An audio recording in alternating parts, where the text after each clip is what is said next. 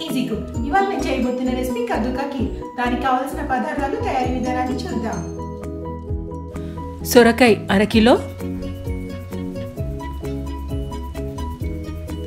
చిక్కటి పాలు ఒక లీటర్. కోవా రెండు వందల యాభై గ్రాములు. పంచదార నూట యాభై గ్రాములు. నానబెట్టించుకున్న సాబ్దాను యాభై గ్రాములు పిస్తా ఇరవై ఐదు గ్రాములు బాదం ఇరవై ఐదు గ్రాములు చిరోంజి ఇరవై ఐదు గ్రాములు కాజు ఇరవై ఐదు గ్రాములు నెయ్యి రెండు టీ స్పూన్లు గ్రీన్ కలర్. ఇది అవసరమైతే వాడచ్చు. వెనిలా ఎసెన్స్ ఒక టీ స్పూన్.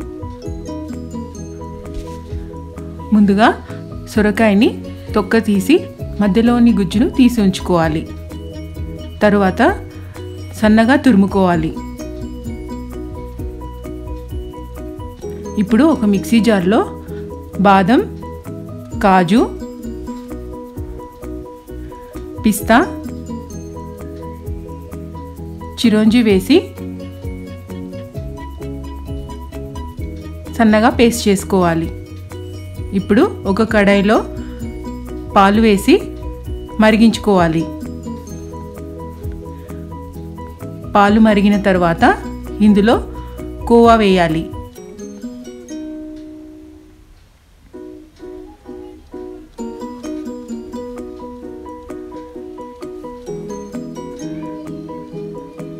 కలుపుకొని కోవా కరిగిన తర్వాత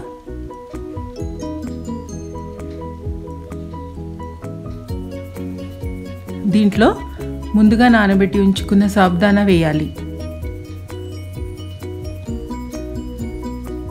తర్వాత పంచదార కూడా వేసి కలుపుకోవాలి.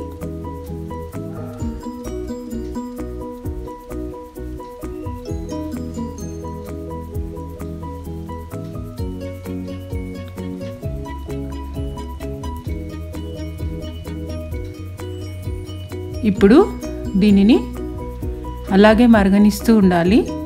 అంతలో మనం మరో ప్యాన్లో నెయ్యి వేసుకోవాలి.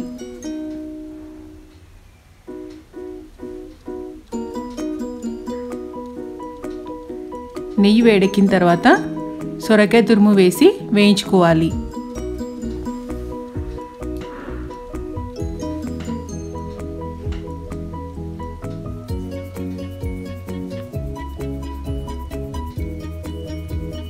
ఇది కాస్త దూరగా అయ్యింది.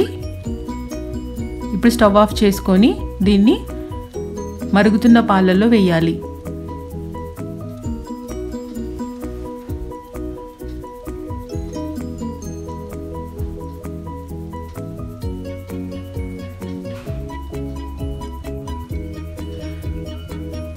ఇప్పుడు ఇందులో గ్రైండ్ చేసి పెట్టుకున్న డ్రై ఫ్రూట్ పేస్ట్ వేసుకోవాలి.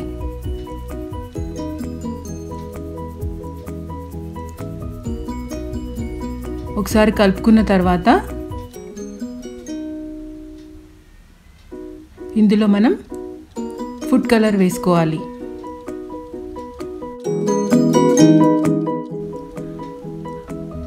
దీన్ని కాసేపు ఉడకనిచ్చిన తర్వాత చివరిగా వెనీలా ఎసెన్స్ వేసి ఒకసారి కలుపుకోవాలి. స్టవ్ ఆఫ్ చేసుకొని దీన్ని సర్వింగ్ బౌల్లోకి తీసుకొని చల్లగా సర్వ్ చేసుకుంటే కద్దుకాకి రెడీ. నా రెసిపీ కనుక మీకు నచ్చినట్లయితే please like share and subscribe.